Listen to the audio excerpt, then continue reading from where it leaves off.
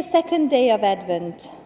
Yesterday was the first Advent Sunday, which is the day when Christians traditionally light the candle of hope, which I will do right now with you, if I can. okay. So, the candle of hope.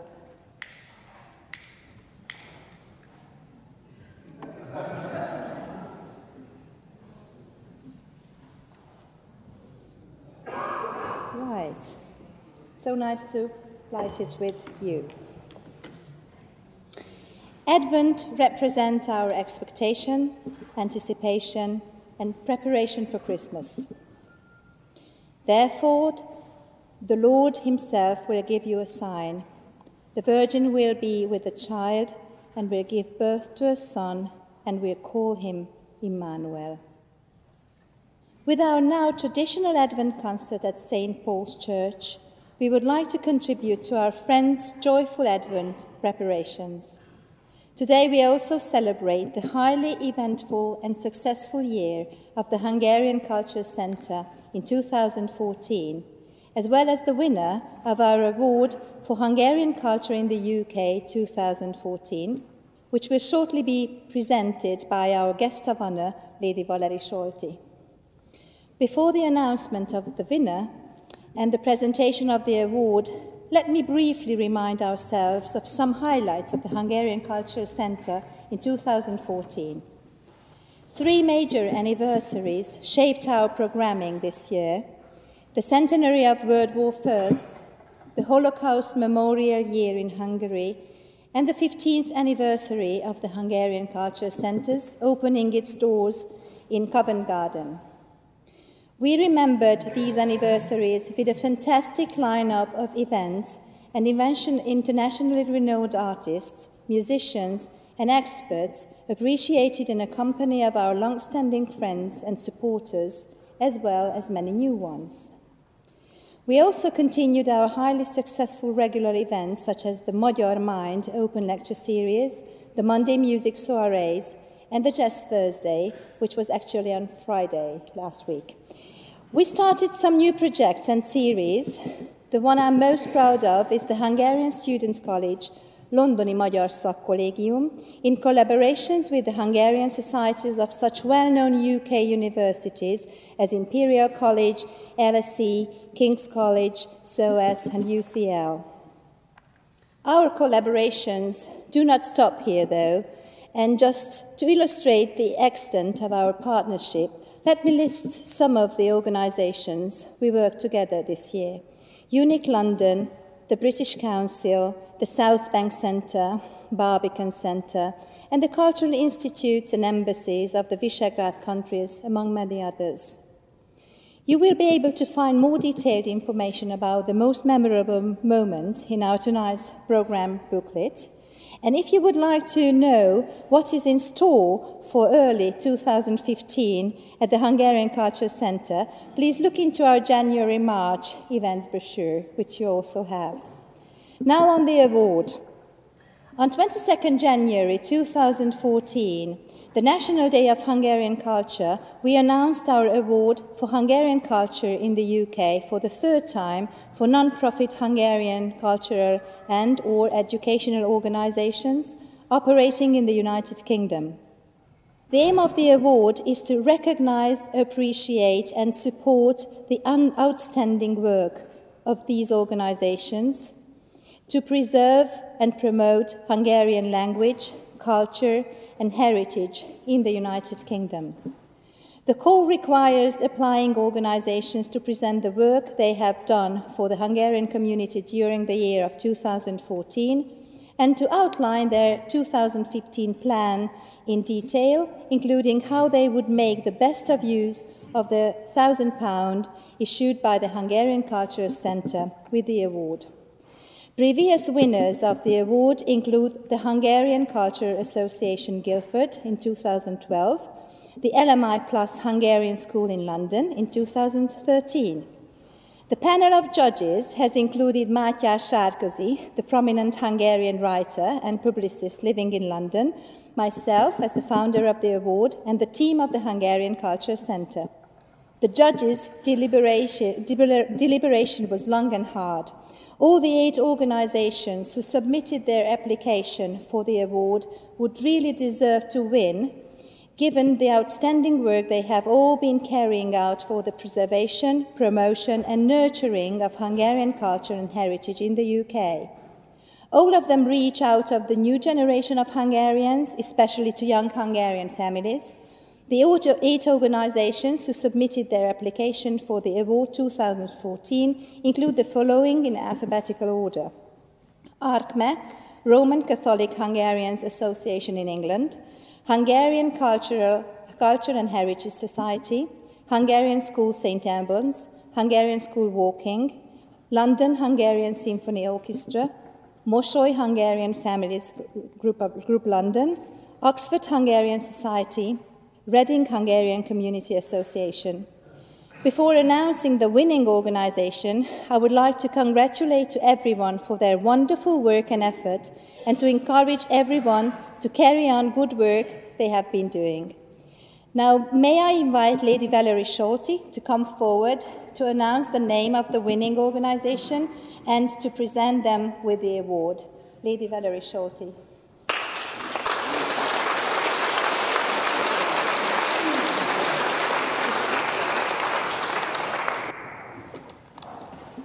I can give thanksgiving tonight because this is the Actors' Church.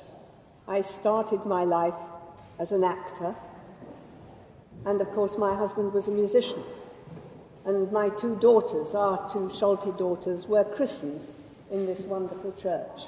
So I feel very much at home here. Also, I have to give thanksgiving for the Hungarian culture for everything that Hungary has brought into my life. It might have had a slightly inauspicious beginning because when I told my father I'd fallen in love with a Hungarian, a whole lot of alarm bells went off because in 1956 he was part of the uh, committee uh, for the West Riding of Yorkshire who were finding funds and housing for the 1956 refugees who came over. And he'd give them their grant, and then a week later they'd come back and say, We have no more money. And he said, But I've given you the money. But what he didn't understand, and nobody understood, was, of course, the situation at home was so difficult for the refugees that the moment they had any money, they sent it back to help their families in Hungary and their families in Hungary. So that was one association. But also the Hungarian culture. What a rich culture it is. As a child, I used to have a stamp album, and there were these wonderful stamps. So what I knew about Hungary were just these wonderful stamps. But then, when I went there and saw the amazing paintings, the ancient paintings, the modern paintings, the Hungarian Impressionists, uh, Ronai, and Munkácsy and uh, and, and of course all the modern ones as well, and the, the, the breadth of the, of the music.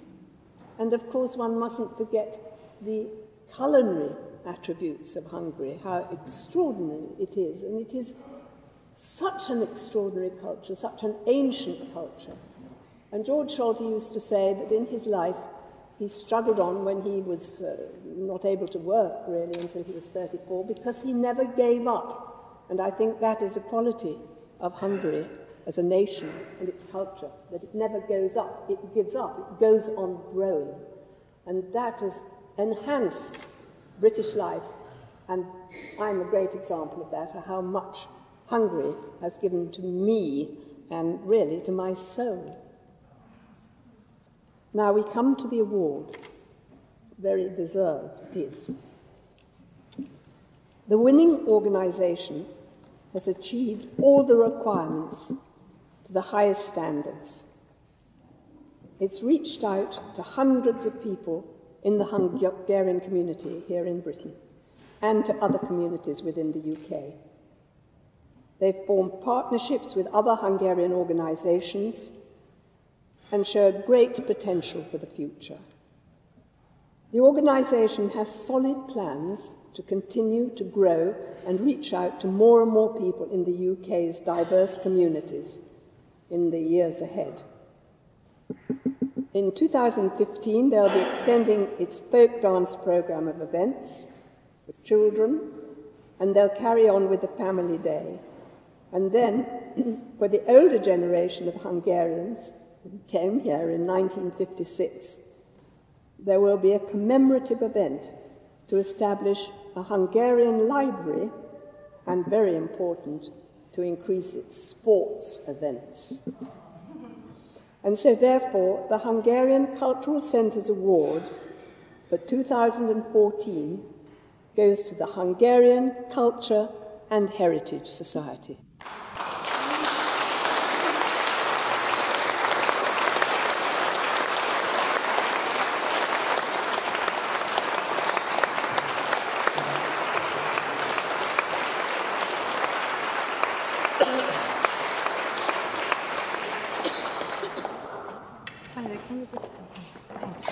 Congratulations. Thank you. It's wonderful. So important. Very important. We must all keep our own national traditions because we're global citizens and we're part of Europe, but it's very important that our strength is also in what we remember of our own culture as well. It's Thank wonderful. You. We should all join in it together.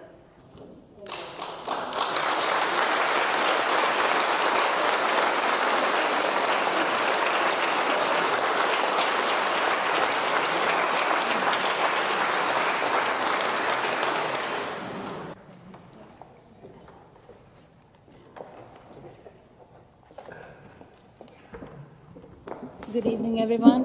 Um, thank you so much for this amazing award. We are so happy, overwhelmed, and it's hard to say um, what we're feeling, but um, the most important thing that we are really proud that we were we had the opportunity to apply for this award and uh, we were able to achieve all the requirements and um, we just enjoy what we do uh, we've been working hard for many years now to, to raise this level and uh, looking forward to next year and looking forward to the future and carry on what we do. Um, basically, the Hungarian Cultural and Heritage Society and the Unique Dance Group are really pleased and thank you so much.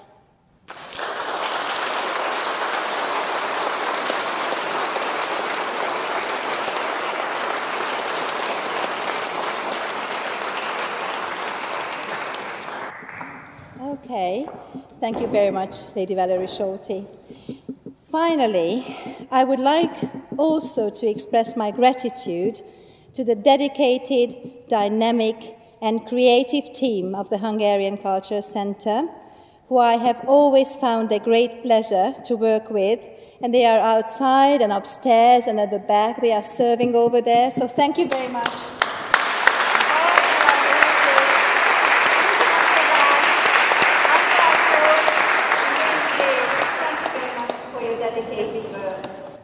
Ladies and gentlemen, let us now begin our Advent concert with the marvelous, joyful company of singers who are set to put us all in a festive mood with English and Hungarian Christmas carols. Please feel free to join in when the conductor Peter Broadbent gives us the sign. Thank you very much.